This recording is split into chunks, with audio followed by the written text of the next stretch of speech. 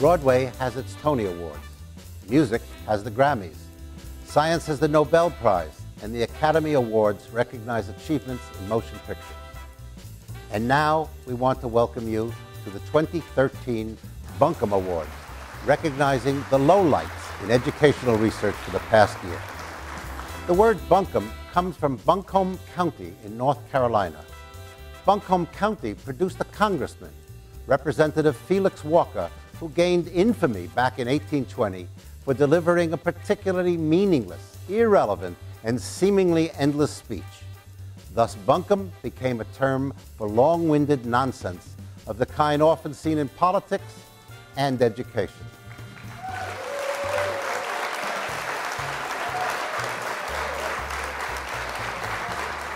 Hello, I'm David Berliner, a fellow of the National Education Policy Center at the University of Colorado, known as NEPC. At NEPC, our interdisciplinary group of scholars believes that the taxpayers who finance public education deserve smart policies based on sound evidence. Unfortunately, a lot of so called think tanks working in the field of education are producing something much different half baked opinions supported by weak evidence or no evidence at all. Our winners are the special cases that shine through as prime exemplars of incompetent research. This year, we have six winners.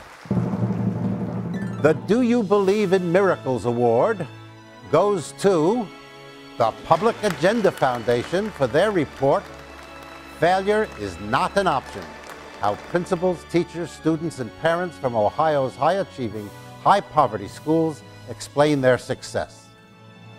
This report from the Public Agenda Foundation claims that certain school-based policies and programs can overcome the impact of poverty on student performance. Among the earth-shaking recommendations they made were engage teachers, be careful about burnout, and celebrate successes. No doubt these are sound practices, but they've been pursued since the authors of this report were in kindergarten, and they don't translate to having failure be not an option. While it may be easy to laugh at the idea that the recommended approaches will somehow overcome the effects of unemployment, bad health care, substandard living conditions, and the like, it is also an outrageous neglect of the fundamental social needs and problems of neighborhoods, families, and children. The truth that these miracle school reports hide is that school failure will almost always prevail in a society that will not invest in disadvantaged communities and the families who live there. In fact, notwithstanding the report's title, four of the nine schools celebrated in the report had poverty rates at the state average, and thus were not particularly high poverty schools. Our next award we title We're Pretty Sure We Could Have Done More with 45 Million. It is given to the Bill and Melinda Gates Foundation and its Measures of Effective Teaching project for their culminating report. We think it's important to recognize whenever so little educational information is produced at such great cost. The MET researchers gathered a huge database reporting on thousands of teachers in six cities. When the MET researchers studied the separate and combined effects of teacher observations, value added test scores, and student surveys, they found correlations so weak that no common attribute or characteristic of teacher quality could be found. Even with $45 million and a crackerjack team of researchers, they could not define an effective teacher. In fact, none of the three types of performance measures captured much of the variation in teachers' impacts on conceptually demanding tests. But that didn't stop the Gates folks from announcing that they'd found a way to measure effective teaching. Nor did it deter the federal government from strong arming states into adoption of policies tying teacher evaluation to measures of students' growth. Next on our list is the It's Just Not Fair to Expect PowerPoints to be Based on Evidence Award.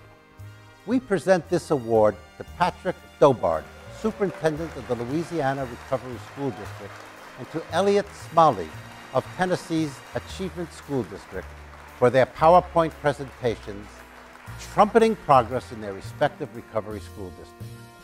For years, Jeb Bush's Florida Miracle has been unmatched as the most bountiful wellspring of misleading education reform information. But Florida and Jeb have now been overtaken by the Louisiana Recovery School District, which serves the nation as the premier incubator of spurious claims about education reform, and in particular, the performance of recovery school districts, takeovers, portfolio districts, and charter schools.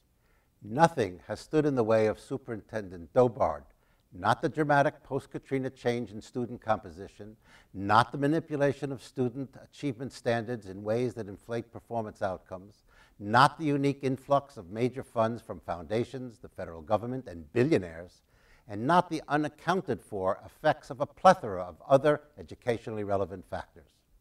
But Dobard is not alone. Elliot Smalley, the chief of staff of the Achievement School District in Memphis, touts his school district's level five growth. That certainly sounds impressive, substantially more impressive, for instance, than, say, level three growth although this growth scale is unfortunately not explained in the PowerPoint itself.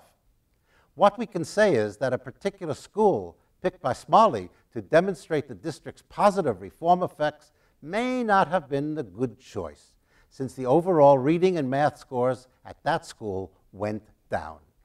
Picky researchers might also argue that more than seven schools should be studied for more than two years before shouting, Hallelujah. As was the case with the Florida miracle, the Bunkum Award here is not for the policy itself. Serious researchers are very interested in understanding the reform processes and the outcomes in these places. Rather, the bunkum is found in the slick sales jobs being perpetrated with only a veneer of evidence and little substance backing up the claims that are being made.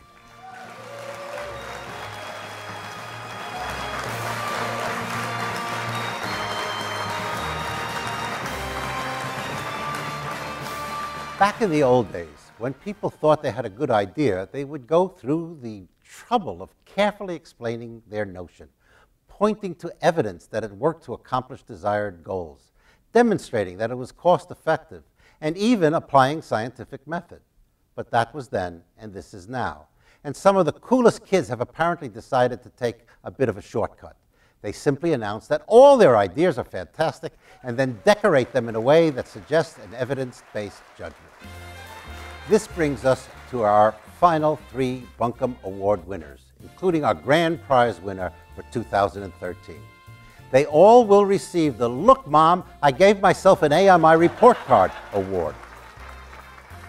Second runner-up goes to Students First, which came up with 24 measures based on the organization's advocacy for school choice, test-based accountability, and governance change. Unfortunately, this think tank's state policy report card never quite gets around to justifying these measures with research evidence linking the measures to desired student outcomes. Apparently, the measures are grounded in revealed truth, unseen or unseeable to lesser mortals. Evidence, though, has never been a requirement for these report card grades. And naturally, the award-winning states embrace the raters' subjective values. In a delightful expose, our reviewers demonstrated that the 50 states received dramatically different grades from a variety of recent report cards. That is, a given state often received a grade of A on one group's list and an F on another group's list. And our first runner-up award goes to the American Legislative Exchange Council, or ALEC, which almost took the top honors as the most shameful of the bad lot. What makes the ALEC report card particularly laughable is the claim that its grades are research-based. Yes, evidence-based or research-based report card grades would be most welcome, but all ALEC really offers is a compilation of cherry-picked contentions from other advocacy think tanks. Thus, what is put forth as scientifically based school choice research is actually selective quotations from school choice advocacy organizations such as Fordham, Friedman, and the Alliance for School Choice. Similarly, the report's claims about the benefits of alternative teacher certification in attracting higher quality candidates are based on only one paper showing higher value-added scores. Unfortunately, that paper was unpublished, and the report's reference section led to a dead link. And now, this year's grand prize winner It's the Brookings Institution and its Brown Center on Education Policy. The breathtakingly fatuous choice and competition rating scale of Brookings is based on 13 indicators that favor a deregulated, scaled-up school choice system. And the indicators are devoid of any empirical foundation suggesting these attributes might actually produce better education. Since the mere construction of this jaundiced and unsupported scale would leave us all feeling shortchanged, Brookings has also obliged its audience with an application of its index to provide an evaluation of New York City's choice system.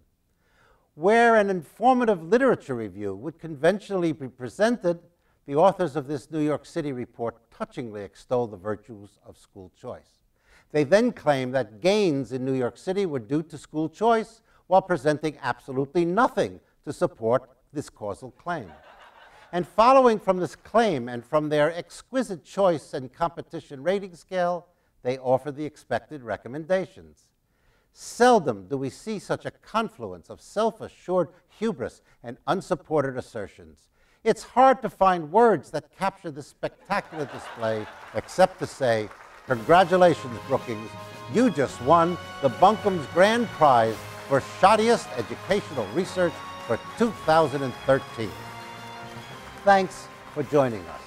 And be sure to visit us at nepc.colorado.edu to find out what's good, what's bad, and what's ugly in the world of think tank research about education. I am sure we'll see you next year.